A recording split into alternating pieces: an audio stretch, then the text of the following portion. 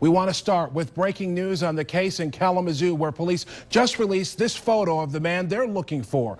George Mack is his name and police say he is armed and dangerous. Kalamazoo authorities say they think he shot and killed a man in Kalamazoo this evening. They brought out the SWAT team thinking they had him cornered, but he was not there. 24-hour News 8's Heather Walker is on this story for us. She has the latest on the search and what we know about that shooting tonight. Heather, good evening. Good evening, Leon. Yeah, police may be closer to finding that suspect. They actually took off quickly from that scene in the 1300 block of Rose. We tried to follow them, but they took off too fast. So hopefully they are closer to getting that suspect. We now know that he is wanted for fatally shooting 26 year old Edward Bell, the he actually was found shot dead at that scene there at that home in the 1300 block of Rose. Police tell us he was visiting someone at that residence, and neighbors say that he and Mack got into an argument before the shots rang out.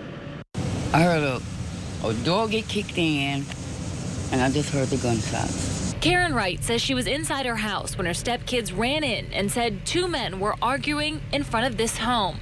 That's when she came outside and saw the commotion. All I know, I was trying to get the kids in the house. Police say the shooting happened toward the back of the home. They suspected the suspect, 26-year-old George Michael Mack, ran to a home a block over on North Burdick.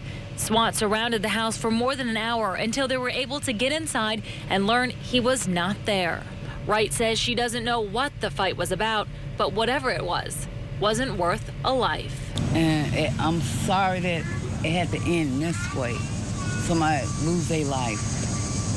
And another one to soon lose his life. He got kids and everything. It's sad that we all, we're killing each other. We really is. Now here's another look at that suspect again. He is George Michael Mack. He's about 6'1", 150 pounds. Police say he should be considered armed and dangerous. If you have any information about his whereabouts, you are asked to call Kalamazoo Public Safety. Reporting live in Kalamazoo, Heather Walker, 24-hour News 8. Okay, Heather, on a case that continues to develop tonight. Heather, thank you.